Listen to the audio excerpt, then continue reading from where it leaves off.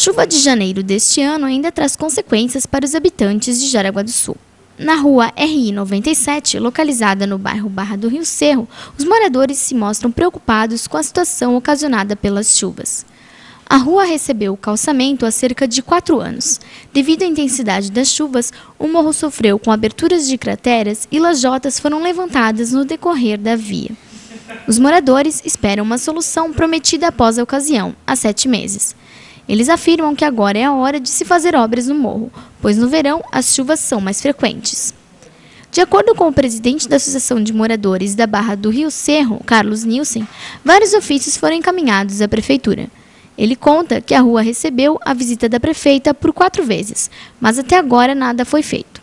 O caminhão que recolhe o lixo das ruas não tem mais condições de fazer o seu trabalho por causa da falta de estrutura do morro.